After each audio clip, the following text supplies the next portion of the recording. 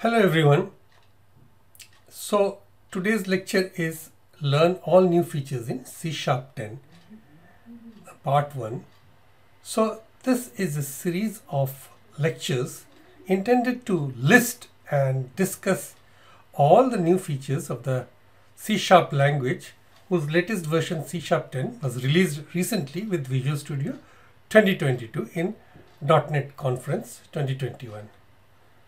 So if we move to the next slide, so these are the list of all the added features and enhancement to the C Sharp language, record structs, improvement of struct types, string handlers, interpolation, global using directives, file scope namespace declaration, extended property patterns, lambda extension improvements, constant interpolated strings allowed, record types can seal to string, improve definite assignment, allow both declaration and assignment in the same deconstruction, and allow async method builder attribute on methods, caller argument expression attribute, and finally enhanced line pragma. So what is covered in this lecture? We'll be covering simply the first two features, the record structs and improvements of struct types. So, in order to understand record structs, we shall have to know what a record is. Now, beginning with C sharp 9, that, the, that is the previous version, the record keyword is used to define a reference type that provides built-in capability of encapsulating data. Records have a value-based equality even for reference types, for example, class. So remember, value-based equality for even reference types.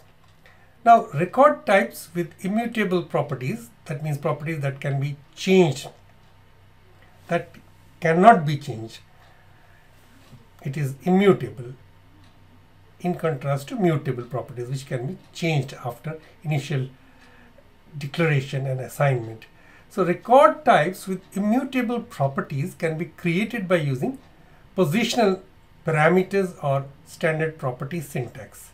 Now we'll soon see, we'll switch over to Visual Studio at 2022 which is supporting the .NET 6 version because you know uh, C Sharp 10 is only available in .NET 6. Alright, so we'll now switch over to Visual Studio So I have loaded up my Visual Studio 2022 community version which is the brand new version of Visual Studio IDE and it is recently released only about uh, 7 to 8 days back during November 90 November 9 to November 11 during the .NET conference in US. So let's create a new project. Click this dialog which is so familiar to us from the previous versions of Visual Studio. And I've got this recent project template. So console app, it's already highlighted. I'll click on next and I will name it suitably and let me name it as something which is which suggests that this is uh, my objective for this project. So let's type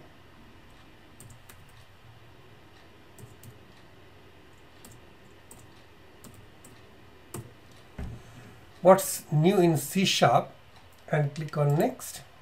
Let's um, keep it selected highlighted on .NET 6 which is the current and latest version, latest and greatest version. Click on create and it will create the project.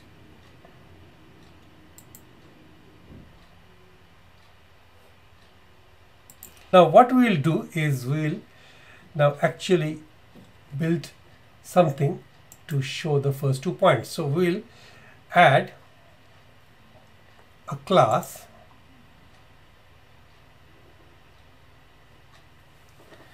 and give this class a name record demo and by default these using statements are not required because this is C sharp 10 and you can easily remove these and it will still work. So if you click Control Shift B to build this application, there will be no error. Build succeeded. All right. Right. Now, what you will do is within this record demo, I will copy the code in my clipboard and I will just simply paste it to save a lot of time writing code. Right. Now it's all ready for showing and then I will start explaining.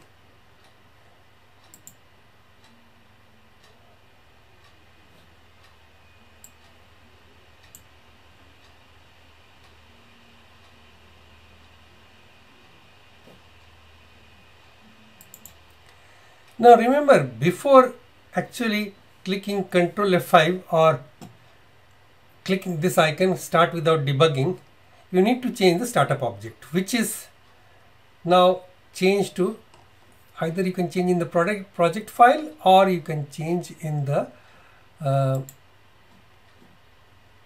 I think one second general tab startup project. So it is not set. So what is new in C sharp dot record demo? Now if you click it,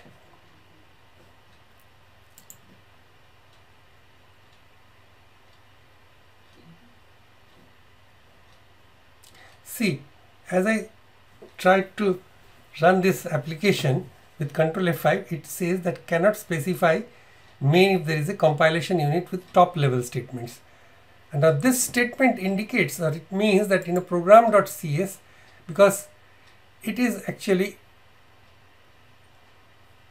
I mean, indicated as it having a top level statement. So that I will come back in a later lecture.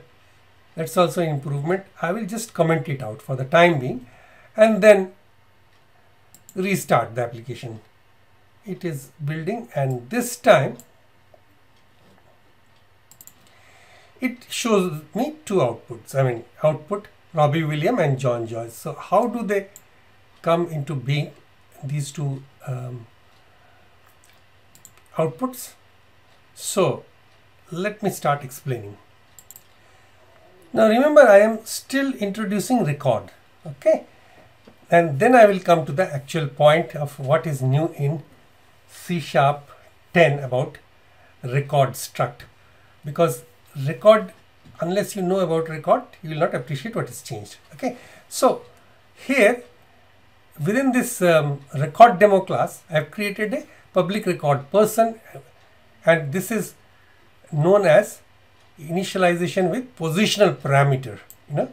This is a record and record keyword is indicative of a reference type with value based equality and this is immutable properties with positional params and this is another way of declaring a record. This is person 1 just to be different from the person within the same class file. So this is another immutable properties with standard property syntax. Now here this was the positional declaration of record with positional parameter and this is the declaration of record with standard property syntax. So here init means once it is initialized with a certain, certain default value, whatever it is, it cannot be changed because it is immutable. And similarly, this is also once de declared and initialized, it cannot be changed. However, public record person 2, it has got mutable properties because this is all familiar to us. Public string, this is a public property of type string first name gets set to a default value. Similarly for the last name property. Now in the test static void main entry point uh, void main or the main method to test this uh, program these records I have created a variable p with a new person which is the initialization of person record and I have initialized with the first name Kaushik and last name Roy. And similarly, now I have commented this, which, I will come to in a few minutes or in a few uh, uh, over the few moments next few uh, short time very shortly. And again var p1 is this is person 1 new person 1 and here with the standard property syntax first name it is written like this object initialization first name equals within quotes John and last name William okay? But for P2 which has got a mutable property uh, this is new person 2 I have initialized first name as Robbie last name as William okay?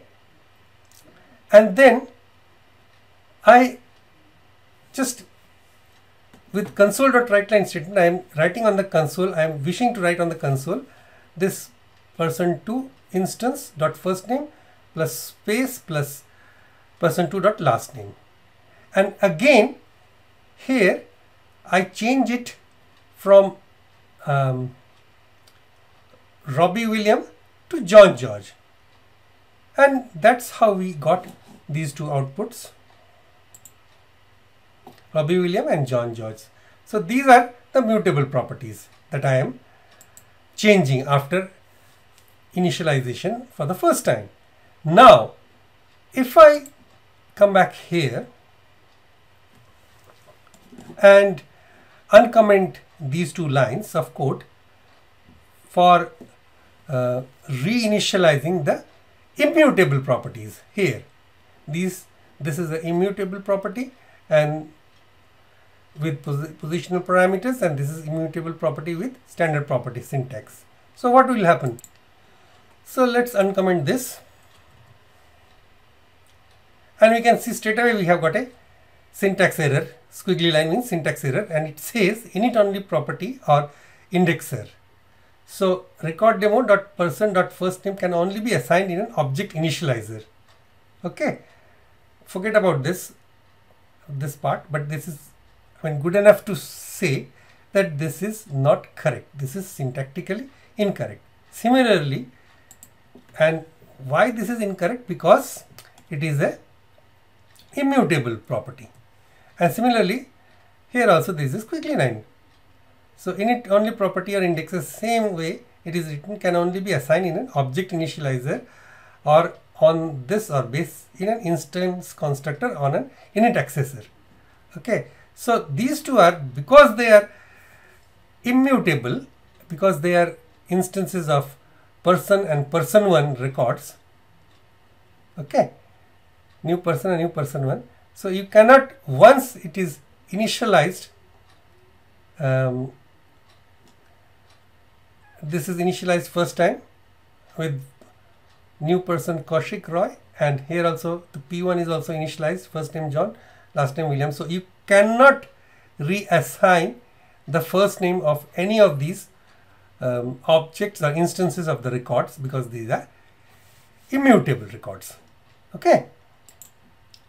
Now records are distinct from classes in that record types use value based equality. Two variables of a record type are equal if the record type definitions are identical and if for every field the values in both records are equal.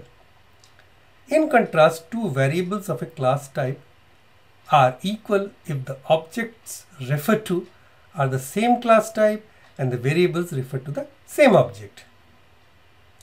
So in C sharp 10, it adds record structs so that you can define records as value types. Okay, so here by default, it is still our languages. Um, so if there is a node called lang version so if it is not there, that means this is getting the latest version, which is C sharp 10, latest version of the C sharp language. Okay, so I will come back to that in a second. So what happens is that um,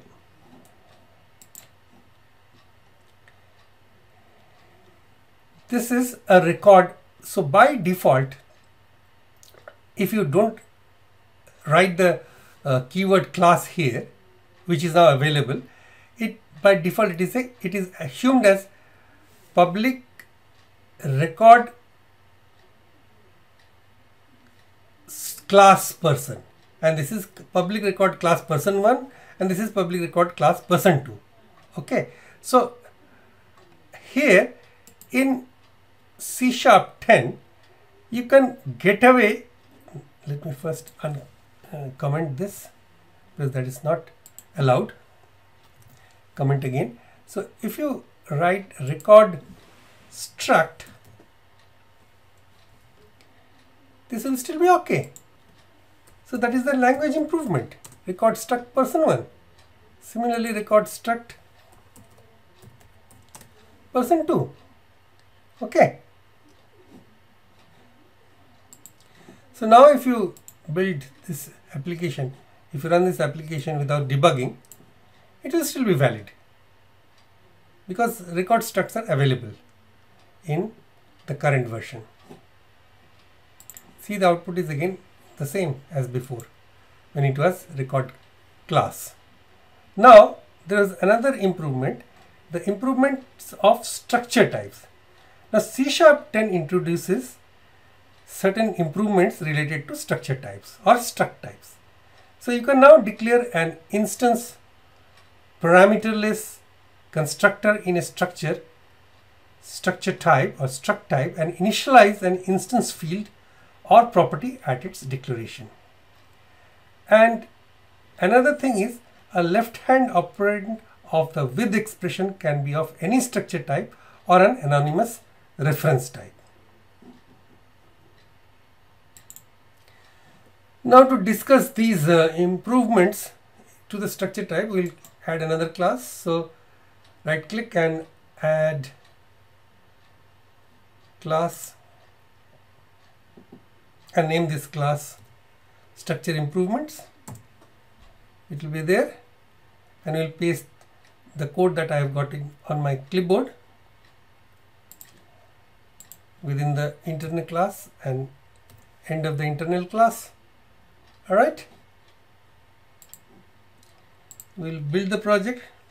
Control shift b should work now.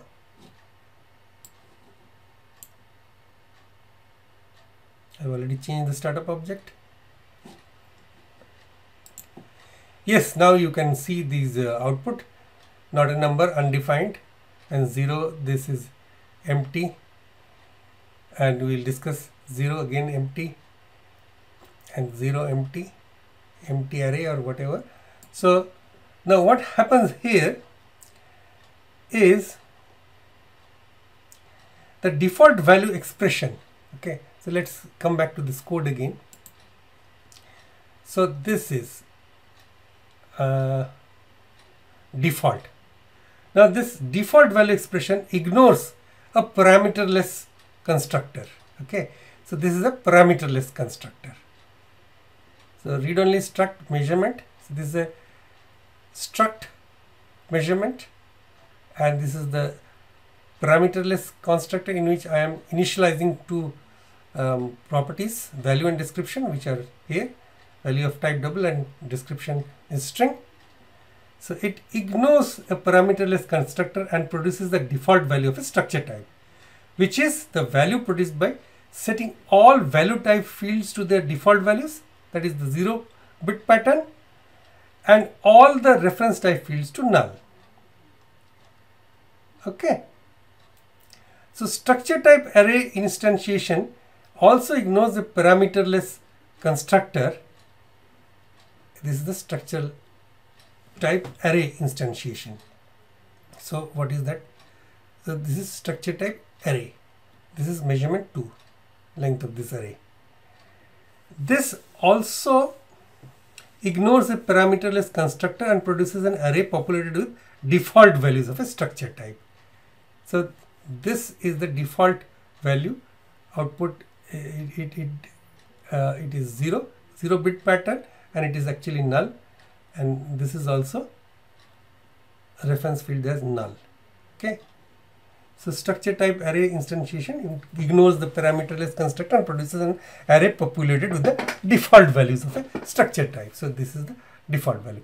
Whereas in the first case, it was because it was not the um, default, hence is provided the output as not a number because it was initialized with double dot not a number so it did not ignore the parameterless constructor because it was not meant to be it was just meant to be in the with the default. Now available in C sharp 9 and later that is in C sharp 10 which is my current version that we are talking about a with expression produces a copy of its operand with the specified properties and fields modified. So in order to prove what I am saying let me create a class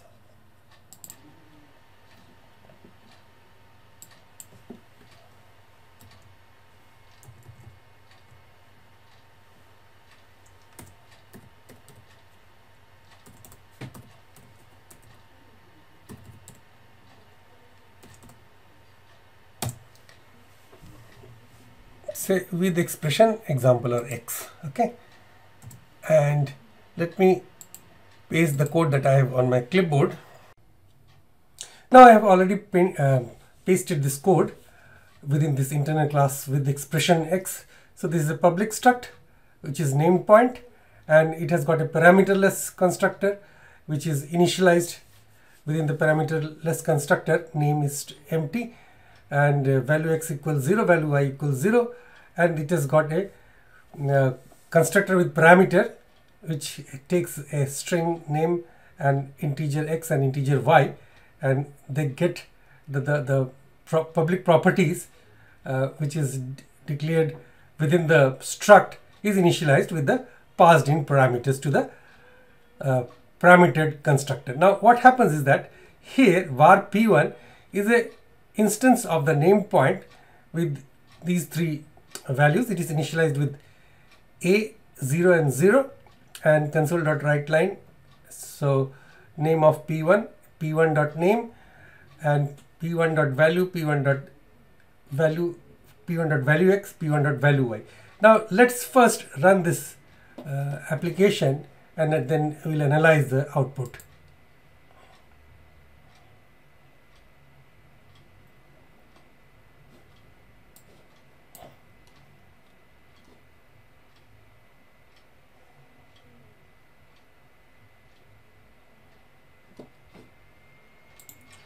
So the output here demonstrates that the variables P2 and P3, which are the left operands of the with expression, they are also struct types as they are extending P1, okay, P2 and P3. And P1 is a struct instance of the struct name point, okay. So name point struct instance and P2 is P1 with the change value of name and value X and P3 is P1 with change value of name again and value Y. So that proves that you know the left hand operand of the with expression can be any struct and similarly here this output name equals Rory x 100 y 200 how it comes? This is actually a anonymous type variable name point 1 okay? So it has it is initialized with the these values initial values of name x and y and then name 2 name point 2 is name point 1 which is this is another anonymous type okay? Because it is based on an anonymous type name point 1 and this works with the changed name from Rory to Johnny and x to 300 okay? So Rory to Johnny and x to 300 y remains the same. So this proves both the points that you know there is an improvement in uh, struct that you know you have actually allowed the team Microsoft team has allowed parameterless constructor and also it has um, it is now possible to have the left hand side of the with with expression as any struct or any anonymous reference type